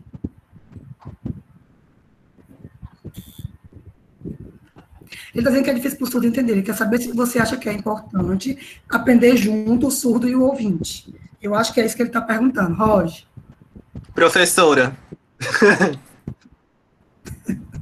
tu vai ter que responder devagar, porque eu vou tentar dizer para ele, né? Não, a senhora eu responde. Eu acho que a senhora tem mais, mais domínio sobre isso do que eu. Não, ele está perguntando para você, queridinho. Você que está falando da leitura. O que é que você acha uh, que é importante? Você estar junto? Bem, eu acho que, que importante estar junto, porque é, a, a, a, gente, nós todos vivemos juntos, né? Mas a partir do momento em que as escolas não fornecem uma inclusão de fato, eu penso que os institutos de educação dos surdos fazem um trabalho é, extremamente enriquecedor engrandecedor para essas pessoas, para os surdos, uma vez que eles vão ter a possibilidade de se engajar na sociedade através da sua própria língua e aprendendo também a língua portuguesa. Eu não tenho muitos conhecimentos sobre, sobre a articulação. O que foi, professora? Tô falando, tô, eu tô passando para ele, pode continuar. Ah, não, é porque ele. ele falou, aí eu achei que a senhora. Ele tá falando comigo, ele tá falando comigo, ele tá só corroborando. Ah, tá certo. E é, eu não tenho tanto conhecimento sobre essa, essa inclusão na escola básica, mas é, eu acho que, sem dúvida, pelas experiências que eu tive, inclusive na graduação da disciplina de Libras, a importância de um intérprete, a importância de uma educação que pense nessas pessoas, é, inclusive porque mesmo os ouvintes têm necessidades especiais, né? E muitas vezes a gente não pensa nas necessidades especiais de todos. Então, é preciso que a gente saiba incluir, na verdade, todas as pessoas, né? E os surdos, principalmente, uma vez que a gente vem aí é, com uma marginalização que a... Não sei, não sei traduzir marginalização. Que acontece historicamente, mas é isso.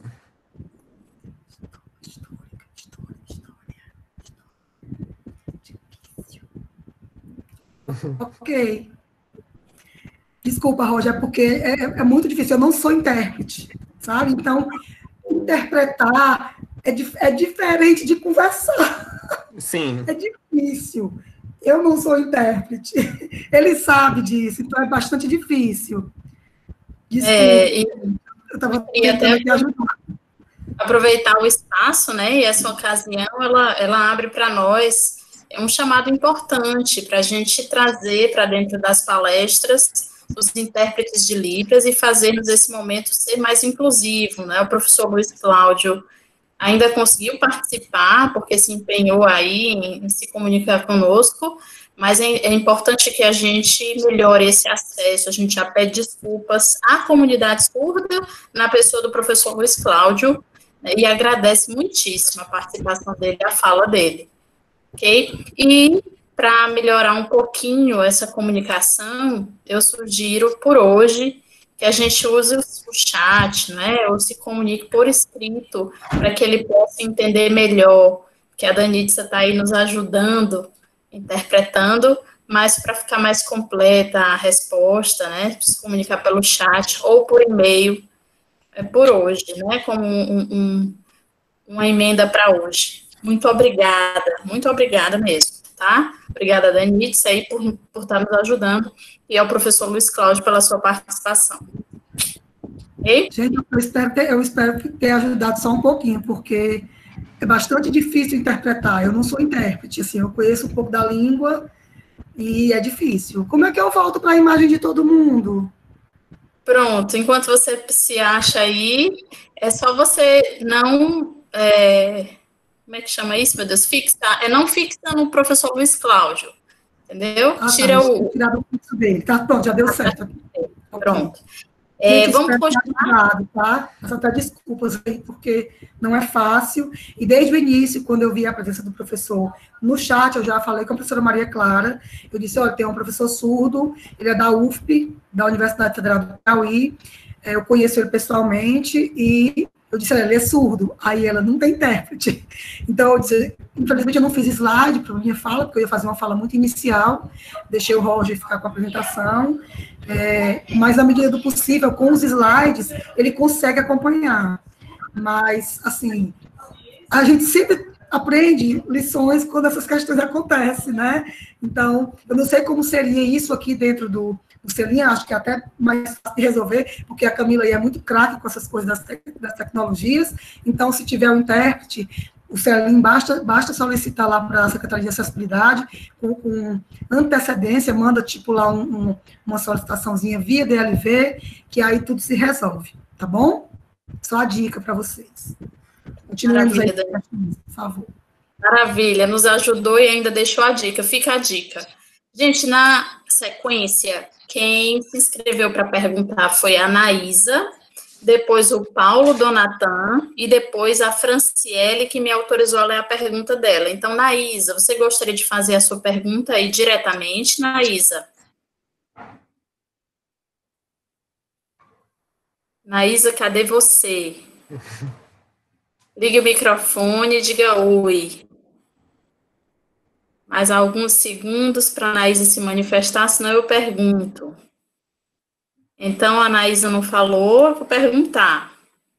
Então, Roger Ellison, a Anaísa perguntou o seguinte: você não considerou a leitura dentro da perspectiva da complexidade em sua pesquisa?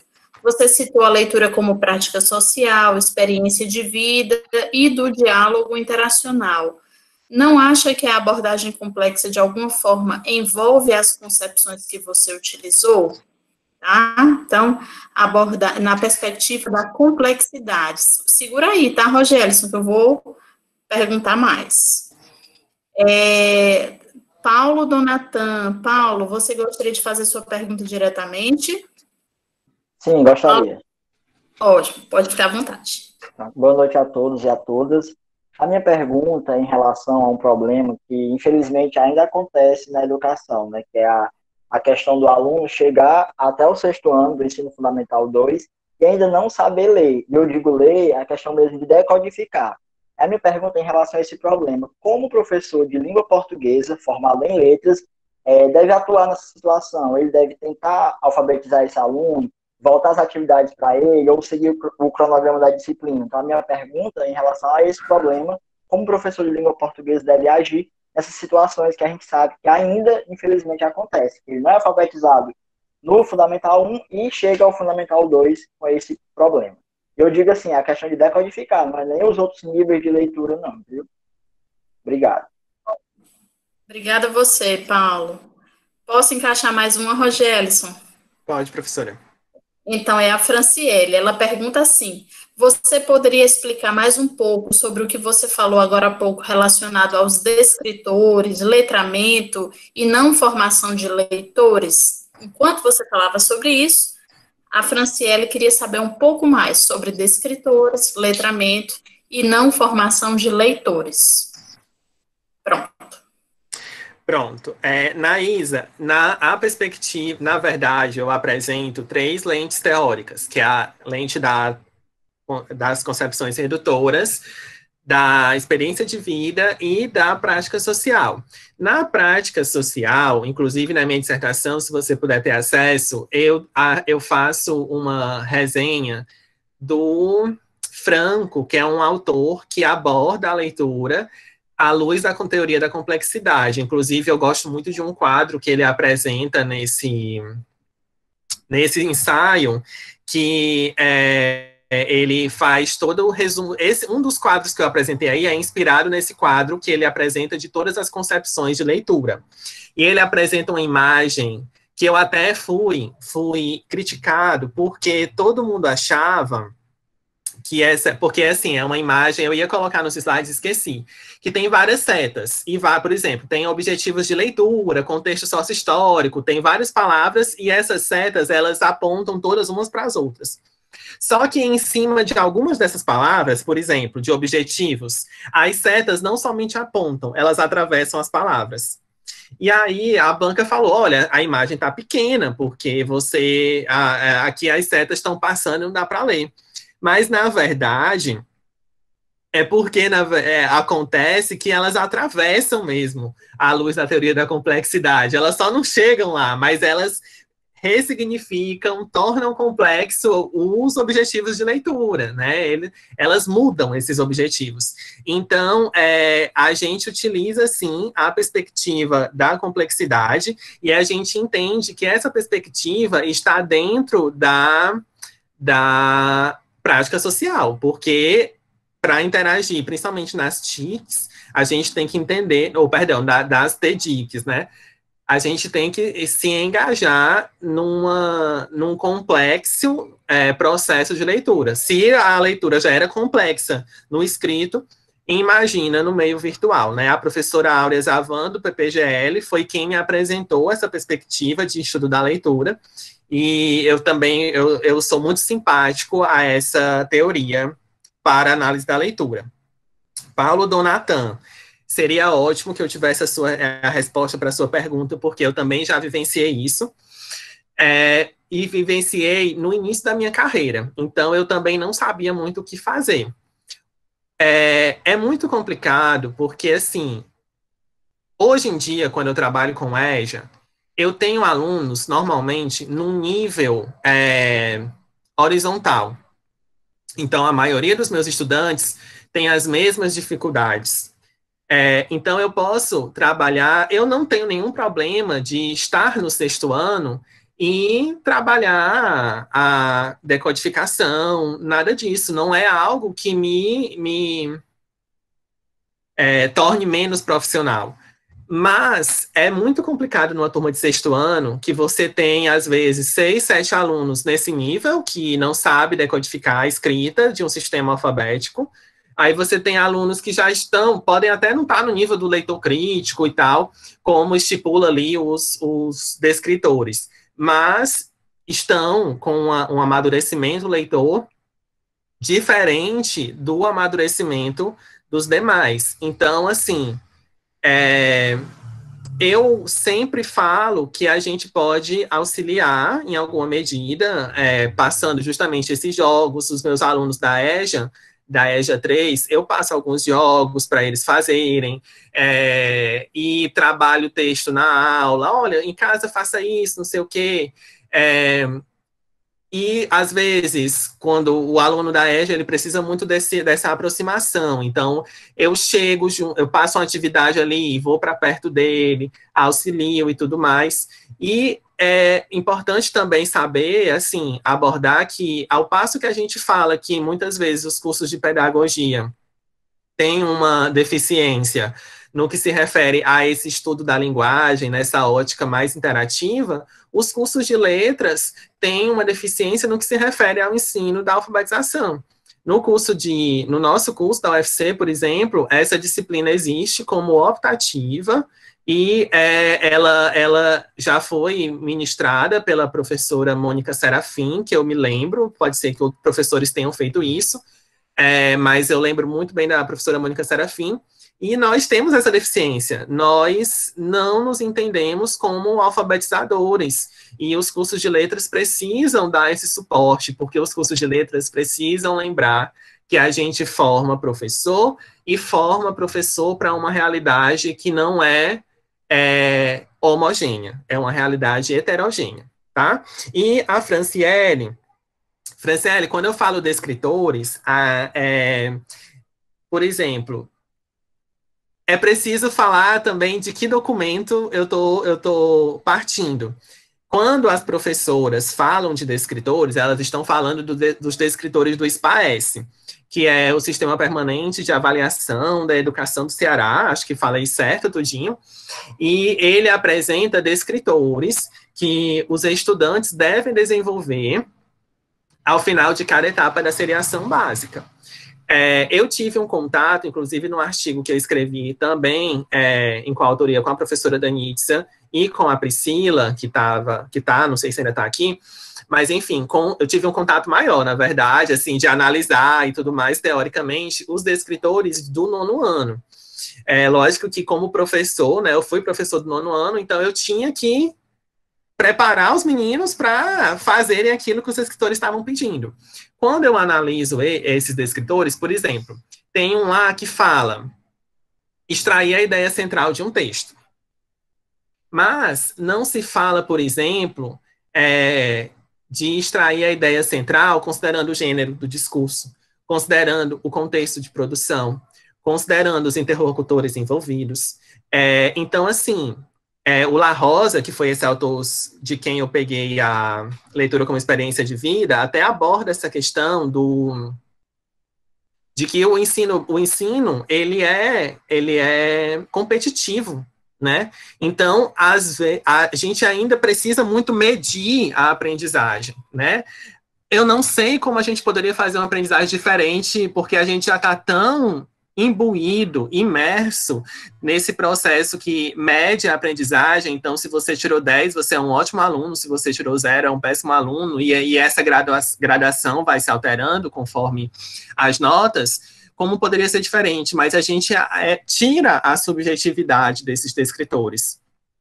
Pensar no letramento seria entender não somente que a subjetividade está é, consagrada nas interações sociais, nas práticas sociais, mas entender, se a gente pensa na teorização de Bakhtin, de que a língua é um sistema plástico, é um sistema atualizável, é conformado por discursos. Então, às vezes, os descritores, como eu falei, eles são importantes. É preciso um aluno que saiba entender a temática de um texto. É preciso um aluno que saiba articular é, texto verbal ou linguagem verbal com linguagem não verbal num quadrinho todos esses descritores são importantes, mas é preciso também levar em consideração as habilidades da interação.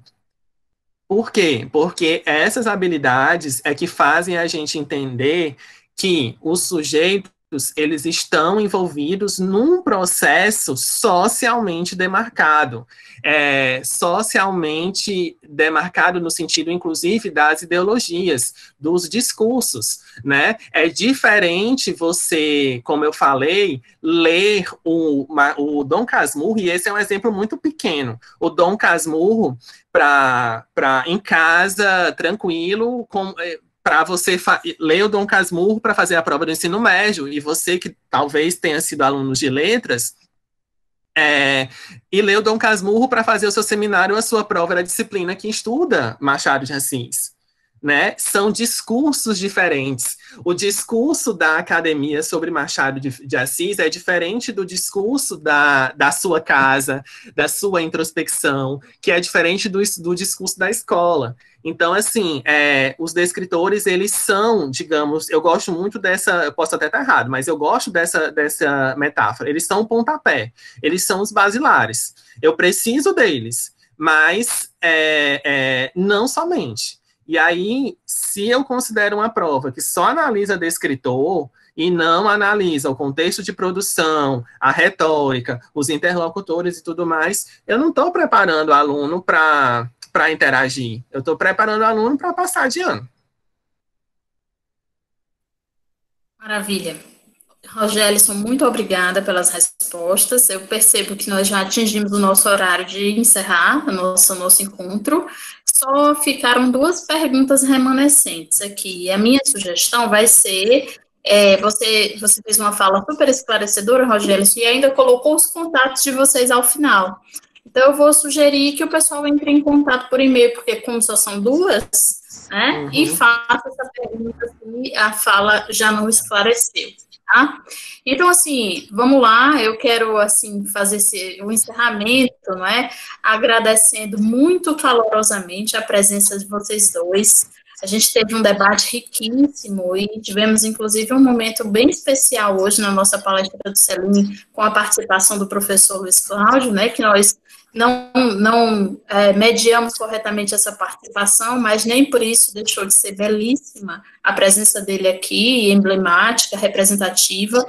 Eu queria agradecer demais por vocês dois trazerem essas pesquisas tão importantes e tão relevantes para nós, para o Celim, nesse semestre. Muito obrigada, viu, Danitza? E muito obrigada, Rogélison. Maravilhosa a sua pesquisa, muito legal conhecê-la.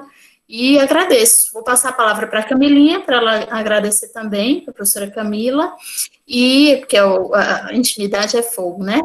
Para a professora Camila, e em seguida, para vocês fazerem a palavra final. Gratidão demais. Gente, eu vou ser bem breve. Foi uma palestra linda. Vocês estão de parabéns. Quero parabenizar a professora Danitza, quero parabenizar o professor Rogério. Foi uma fala muito clara, muito objetiva, muito nem por isso pecou pela profundidade, pelo contrário, e eu acho que a gente só tem a agradecer por esse momento tão rico. Muito obrigada. Ah, a gente que agradece o convite. E falando em intimidade, tu chama ela de Camilinha, professora do tempo, que ela é a Camis. É verdade. Camis. né? Só, só para agradecer demais e, e, dizer que, assim, eu não sou da, da secretaria não, mas se vocês precisarem de algum, de algum, vamos dizer assim, né, de alguma orientação, de com quem falar e tal, eu me colocar à disposição. Pedir desculpas aqui, já que está deixando gravado, porque até fica, né? Pedir desculpas, eu não sou intérprete e eu não quis atuar como, porque os profissionais intérpretes são muito valor, são pouco valorizados, deveriam ser mais. Mas na, na minha concepção, eles têm assim uma, assim uma a presença deles é, é não tem como não ter, mas eu, eu, eu, eu, entendo porque vocês ainda não tinham tido a necessidade de ter o um intérprete. Então, assim, claro que a gente só precisa do intérprete de Libras quando a gente tem um surdo, porque a gente não vai precisar do intérprete se está todo mundo se entendendo, né? Então, assim, como foi a primeira vez, então, assim, eu quero deixar claro isso, é, me desculpar aqui pela, por essa, vamos dizer, né, tentativa de interpretação, mas foi uma tentativa de ajudar o professor Luiz Cláudio, né, e agradecer e, e deixar claro aqui a minha admiração, meu orgulho pelo Rogério, pelo trabalho que ele fez. Rogério, isso é maravilhoso. Então, meu primeiro mestre, eu só tenho aqui que rasgar elogios, e isso não é da boca para fora, ele sabe disso. Respeito imenso pelo trabalho que ele fez, pelo que ele ainda vai fazer no doutorado, ele já é aluno do doutorado. Né? Então, assim, um grande respeito pelo profissional que o Rogério era e, e, e, pelo que ele está se tornando, né, por conta do mestrado e agora do doutorado. Então, assim, agradecer a vocês pela oportunidade de me amostrar com o Rogério para tanta gente, né? Beijo grande. Roger, um minutinho. Obrigado. Boa noite, gente. Eu já fiz meus agradecimentos e só dizer que eu tô achando muito triste que não pode comentar tudo, porque tem um monte de gente contribuindo aqui e a gente quer, mas por favor, quem tiver muitas contribuições ou poucas contribuições também, fala comigo pelo e-mail porque essa interlocução é muito importante para mim. E eu também mandei o link da minha dissertação aí, porque alguém pediu, não lembro quem, mas pediu, eu mandei aí. Também, se precisar, pode entrar em contato, a gente vai disponibilizar os, os slides, tá certo? E aí vocês vão poder pegar é, com, no anexo. Obrigado, boa noite.